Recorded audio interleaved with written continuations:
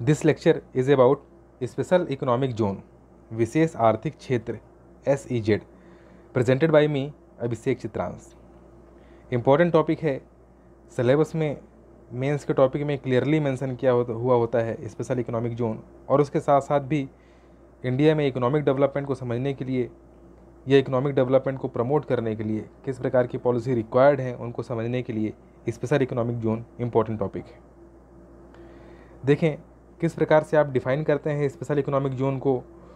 तो किसी कंट्री के अंदर एक छोटा सा इनक्लेव जैसा कि वेन डायग्राम में दिखाया गया है तो जो बड़ी सर्किल है, वो रिप्रेजेंट कर रहा है किसको? इंडिया को, और उसके अंदर छोटा सा क्षेत्र स्पेशल इकोनॉमिक जोन इसको इंडिया की गवर्नमेंट अपनी इस एस पॉलिसी के through totally foreign territory consider कर लेती है। सबसे इजी तरीका है इसको समझने का। इसमें होगा ये कि टैक्स से उसको छूट मिल जाएगी। गवर्नमेंट को जो फ़िज़िकल पॉलिसी है, वो रेस्ट ऑफ़ इंडिया के लिए डिफरेंट होगी और इस एस ई जेड के लिए डिफरेंट होगी। कोई भी बैंक की ब्रांच अगर इस एरिया में एस ई जेड वाले में ओपन होती है तो मान लिया जाए कि वो बैंक की ब्रांच कैसी है फॉरेन बैंक की ब्रांच है।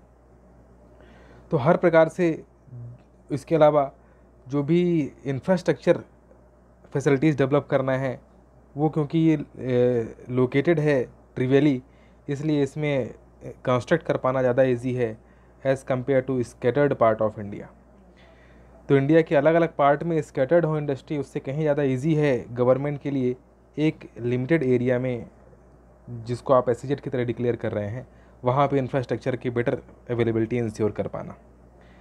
कुछ कुछ एग्जांपल्स दिए हैं इसमें Kandla S E Z Cochin S E Z Madras S E Z Visakhapatnam S E Z E T C next है। तो ये टू थाउज़ेंड के आसपास से, टू थाउज़ेंड के ईयर से ही गवर्नमेंट ने एस ई जेड इस्टेब्लिश करने स्टार्ट कर दिए। ऐसा नहीं है कि इससे पहले एफर्ट नहीं किया गया।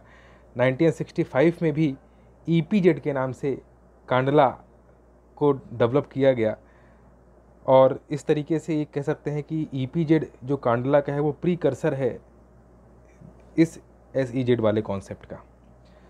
चाइना में जेड का कॉन्सेप्ट बहुत ब्रॉडली डेवलप हुआ 1979 के बाद से। और उसके साथ साथ में उसकी ओपन डोर पॉलिसी ने चाइना के जो आज आप इकोनॉमिक ग्रोथ देख रहे हैं, ये सब इन्हीं कुछ इनिशिएटिव्स का कम्बिनेसन है। तो 2000 से लेकर के टू 2006 तक फॉरेन ट्रेड पॉलिसी के अंतर्गत एस ई जेड विशेष आर्थिक क्षेत्र स्थापित होते चले गए और वो ऑपरेशनल थे इंडिया में। फिर भी ऐसा लगा कि कुछ एक ऐसा स्ट्रक्चर क्रिएट किया जाए बाई एक्ट कि उसके पास एम्पावरमेंट ज़्यादा हो, एक ऑर्गेनाइज वे में आप उसको समझ सकें। तो पार्लियामेंट ने special economic zone act pass किया 2005 में। जो इम्प्लीमेंट होता है 2006 से और इसके साथ में ही गवर्नमेंट ने कुछ S E Z rules issue किए, कुछ नियम बना करके इशू किए। क्या क्या थे? तो उसमें अगर देखें तो उसे समझने से पहले आप ये देखें क्यों रिक्वायरमेंट पड़ी एस ई जेड की। एस ई जेड के बिना क्यों इकोनॉमिक डेवलपमेंट उस टाइम पे पॉसिबल नहीं हो पा रहा था? तो फ़र्स्ट है there were multiple controls and many clearances to be obtained before starting a venture तो अगर आपको कोई भी कंपनी स्टार्ट करनी है, कोई इंडस्ट्री स्टार्ट करनी है तो उसके लिए एक मल्टीपल क्लियरेंसेज इन्वायरमेंट का अलग, उसमें पॉल्यूशन का पैरामीटर अलग चेक कराना है। वहाँ पर वो सस्टेनेबल है कि नहीं? स्टेट गवर्नमेंट का अलग क्लियरेंस, सेंटर गवर्नमेंट का। तो मल्टीपल क्लियरेंस अचीव करने में एक वीक तो बहुत कम है, मंथ और कई बार तो कई साल लग जाते थे। और वो प्रोजेक्ट की कॉस्ट इतनी डिसाइड की जाती थी, उससे कहीं अधिक कॉस्ट पे वो पहुँच जाता था इन्फ्लेशन के कारण। एज अ रिज़ल्ट वो प्रोजेक्ट जितना फाइनेंस करवाता था बैंक से, वो फाइनेंस उसको सफिशेंट नहीं होता था स्टार्ट करने के लिए। और वो स्टार्ट प्रोजेक्ट में कन्वर्ट होता, जिससे कि उस कंपनी ओनर के पास कैपेसिटी नहीं बच जाती थी अब, कि वो बैंक का लोन रिपे कर सके और बैंक भी उससे लोन नहीं रिकवर कर पाने की कंडीशन में उसके पास भी एनपीए क्रिएट होता चला जाता था। तो कई सारे प्रॉब्लम्स को एक साथ सॉल्व करने के लिए ऐसी एस का कॉन्सेप्ट सोचा गया, जिसमें सिंगल विंडो क्लियरेंस का प्रोविज़न किया जा सके और जितना जल्दी से जल्दी प्रोजेक्ट के कॉन्सेप्ट से लेकर के और उसके इम्प्लीमेंटेशन तक के प्रोसेस को जितना शॉर्ट कट किया जा सके, उतना बेटर है। Second infrastructure facilities were सॉबी shoddy and well below world standards in India तो पूरे इंडिया में जहाँ जहाँ पर आपने इंडस्ट्रीज़ इस्टेब्लिश करने का एफर्ट किया, उन सारे ही जगहों पे जो इंफ्रास्ट्रक्चर था वो बहुत वीक था। और गवर्नमेंट पूरे इंडिया में एक साथ इंफ्रास्ट्रक्चर अच्छा इंश्योर कर भी नहीं सकती जो कि कैपेबल हो सस्टेनेबल डेवलपमेंट के लिए इंडस्ट्रीज़ के। जबकि एक लिमिटेड एरिया में डेवलप कर पाना शॉर्ट ड्यूरेशन में पॉसिबल है। Third fiscal regime was unstable as well इसके साथ साथ में गवर्नमेंट के बदलते हुए रूल्स टैक्स के रिलेशन में वो भी इफ़ेक्ट इफ़ेक्ट डालते थे इंडस्ट्रीज़ के ऊपर कि कोई भी अगर फॉरेन इन्वेस्टर है या इंडिया का खुद का इन्वेस्टर इन्वेस्ट करने का सोच भी रहा है किसी इंडस्ट्री में तो वो ये श्योर नहीं है कि उस इंडस्ट्री या उस सेक्टर पे कब गवर्नमेंट कितने परसेंटेज का टैक्स रेट चेंज कर दे। तो इन सब चीज़ों से फ्री करने के लिए एस ई का कॉन्सेप्ट कॉन्सेप्चुलाइज किया गया, जिसके अंतर्गत इन सारे शॉर्ट कमिंग्स को दूर करने का एफर्ट किया गया। रूल्स में कुछ एक फाइव पॉइंट्स इस तरीके से मेंशन किए गए कि प्रोसीजर सिंप्लीफाइड होना चाहिए। उस एस को डेवलप करने का भी वहाँ पर यूनिट को ऑपरेट करने का भी और एस को मेंटेन करने का भी। और इसी तरीके से आपने एस के अंदर सब कुछ मेंटेन करने के लिए प्रॉपर एस बोर्ड को इस्टेब्लिश किया। सेकेंड है सिंगल विंडो क्लियरेंस देखा हमने पहले भी कि यही तो प्रॉब्लम आ रही थी कि मल्टीपल क्लियरेंस लेना पड़ रहा था, जिससे आपको एस सी कॉन्सेप्ट सोचना पड़ा। Single window clearance time consuming activity को लेस टाइम कंज्यूमिंग एक्टिविटी में कन्वर्ट कर देगा।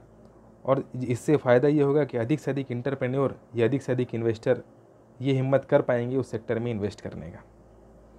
थर्ड है single window clearance for matters connected to the central and state government government related जो भी मैटर थे, उनको भी सिंगल विंडो क्लियरेंस सिस्टम के थ्रू कन्वर्ट करना था इस रूल्स में।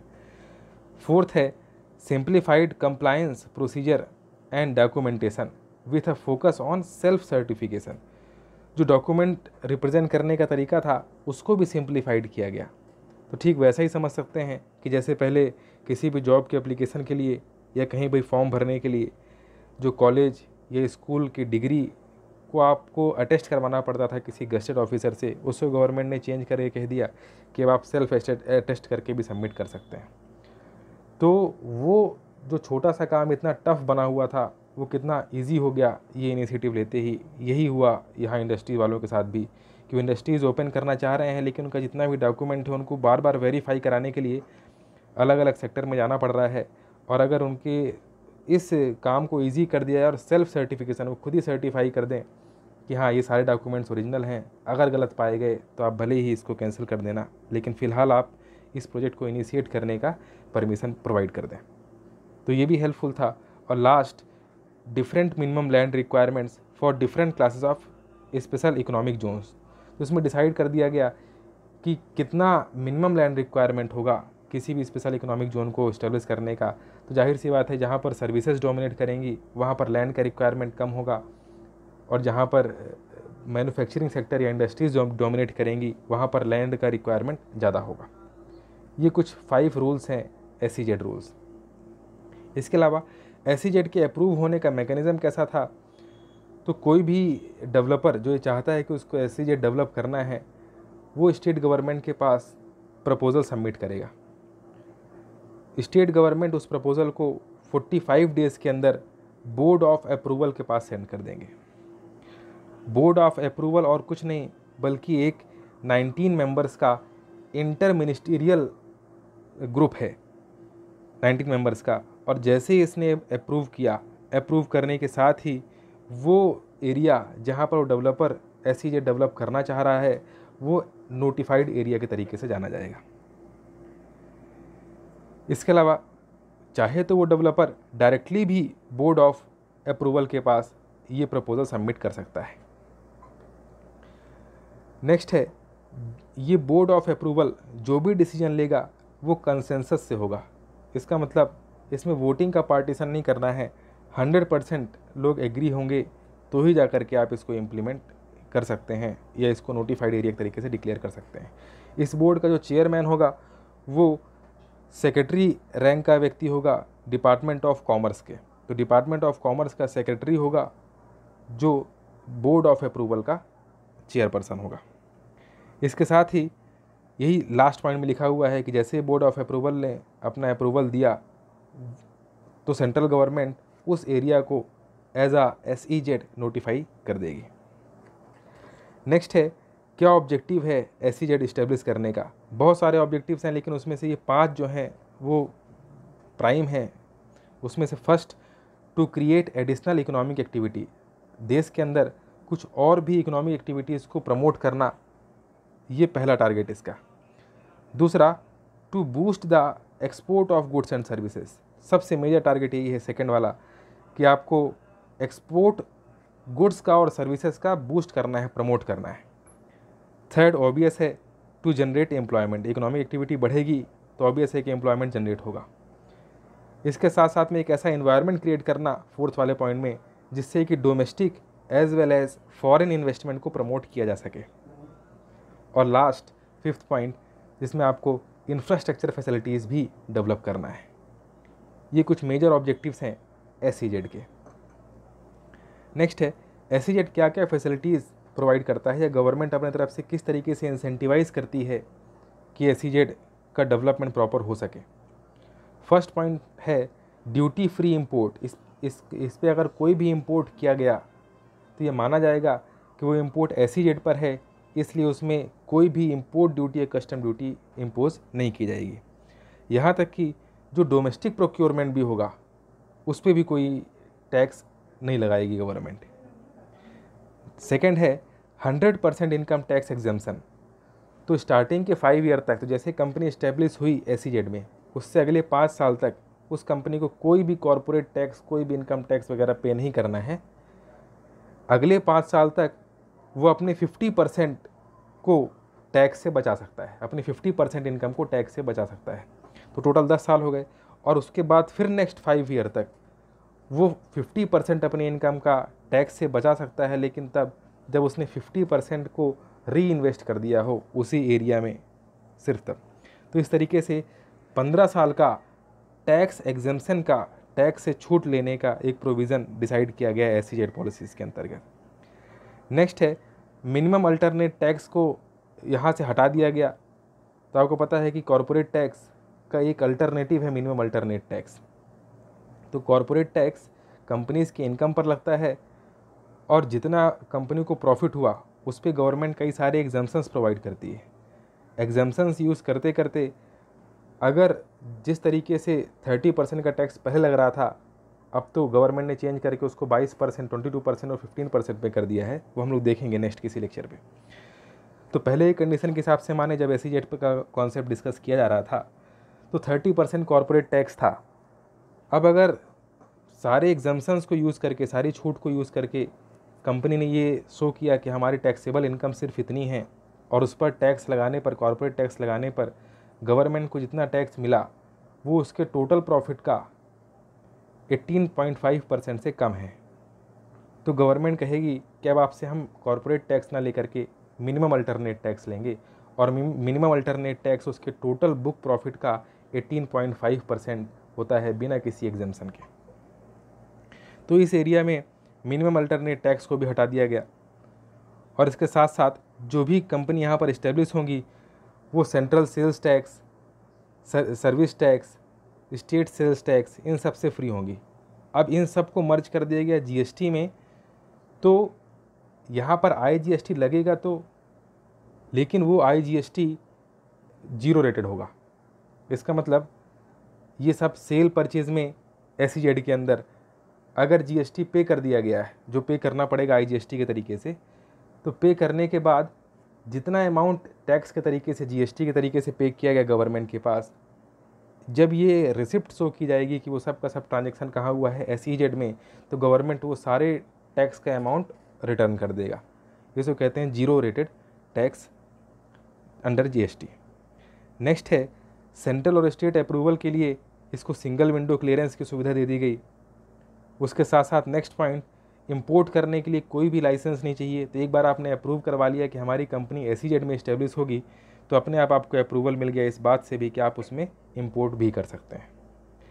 नेक्स्ट है, कुछ एक सेक्टर को छोड़ दें तो बाकी लगभग सारे ही सेक्टर में 100 परसेंट एफ़ अलाउ कर दिया गया एस में। नेक्स्ट है no need for separate documentation of for customs and export import policy जैसा हमने देख लिया कि एक बार आपको अपनी कंपनी इस्टेब्लिश करने का मौका मिल गया एस जेड में तो आपको फिर से कोई नया डॉक्यूमेंटेशन नहीं करना है एक्सपोर्ट इम्पोर्ट पॉलिसी के लिए। नेक्स्ट है क्या क्या चैलेंजेस हैं एस के सामने? तो जो डोमेस्टिक फर्म एग्जिस्ट कर रही हैं पहले से, उनको एक अपॉर्चुनिटी मिलेगी कि टैक्स का बेनिफिट लेने के लिए वो अपना बेस शिफ्ट कर सकते हैं। इट मीन्स ब्रांचेस तो उनकी अभी पूरे इंडिया में काम करेंगी, बस वो अपना हेड ऑफ़िस शिफ्ट कर लेंगे कहाँ पर? एस पर तो ये शो कर सकेंगे कि हमारी कंपनी चूँकि एस पर है तो हमारा जितना प्रॉफिट जनरेट हो रहा है, उसमें हम टैक्स नहीं पे करेंगे। शुरू के पाँच साल तक। अगले पाँच साल तक हम सिर्फ़ फिफ्टी परसेंट पे टैक्स पे करेंगे। और अगले पाँच साल तक अगर हम फिफ्टी परसेंट री इन्वेस्ट कर रहे हैं तो फिर उसमें हम फिफ्टी परसेंट टैक्स से बचा लेंगे। तो इस तरीके से ये टेंडेंसी देखने को मिल सकती है। सेकेंड ऐसा हो सकता है कि ऐसी जेट जहाँ पर डेवलप किया जा रहा है, वो फर्टाइल लैंड हो। फर्टाइल लैंड होने के कारण एग्रीकल्चरल लैंड में लॉस होगा और फ़ूड सिक्योरिटी को भी खतरा होगा। इसके अलावा अगर आप किसी एक पर्टिकुलर सेक्टर पर इंडस्ट्रीज़ को डेवलप करते हैं तो बचा हुआ इंडिया वो इंफ्रास्ट्रक्चर से भी और इंडस्ट्री के डेवलपमेंट से भी बाहर रह जाएगा। इसको आप कहते हैं कि हो सकता है कि A C Z uneven growth को भी प्रमोट कर दे, जिसके एडवर्स इफ़ेक्ट देखने को मिल सकते हैं। इसके अलावा, जो वाटर की रिक्वायरमेंट होगी एस में, उसके लिए आप वाटर डाइवर्ट करेंगे, जो कि वाटर सिक्योरिटी के लिए भी खतरा हो सकता है। नेक्स्ट है एस पॉल्यूशन भी कॉज कर सकता है स्पेशली जब उसका अनट्रीटेड एफ्लुएंट रिलीज़ किया जाएगा आसपास के लोकल वाटर बॉडीज़ में। तो वो इन्वायरमेंट को भी एडवर्सली इफ़ेक्ट कर सकता है, जिससे गुजरात के एरिया में मैनग्रूव वगैरह एडवर्सली इफ़ेक्ट हो सकते हैं फिशरीज़ वगैरह जो कोस्टल एरियाज़ हैं वो इफ़ेक्ट हो सकते हैं।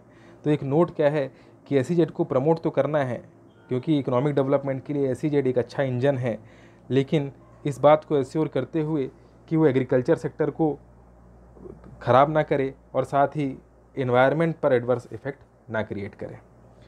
इसके अलावा और भी कई सारे चैलेंजेस एस के सामने और एस फ़िलहाल एज अ कॉन्सेप्ट रिप्लेस कर दिया गया एन आई एम जेड के through national investment and manufacturing zone लेकिन फिर भी एस अभी न्यूज़ में था, क्योंकि एस का जो एक्सपोर्ट था, वो बढ़ा हुआ दिखाई दिया। तो हज़ारों की संख्या में प्रपोज़ल डिसाइड किए गए थे एस बनाने के लिए, जिसमें कुछ दो, ढाई तीन सौ प्रपोज़ल को नोटिफाइड एरिया में कन्वर्ट किया गया और उसमें से कुछ ही इस्टेब्लिश हो पाए इंडिया में। लेकिन उसके बावजूद भी अच्छा परफॉर्म कर रहे हैं, ये फ़िलहाल न्यूज़ में था। दूसरी बात, जितना कुछ फ़ायदा एस डिक्लेयर करने में किया गया था, उसमें से हुआ ये कि एस मोस्टली सर्विस डोमिनेटेड हो गया। इसका मतलब एस में सर्विसेज़ की कंपनी ज़्यादा इस्टेब्लिश होने लग गई, क्योंकि उसमें इन्वेस्टमेंट की रिक्वायरमेंट कम होती है। इससे हमारा एक जो मैन्युफैक्चरिंग को प्रमोट करने का एफर्ट था, वो वीक हो गया।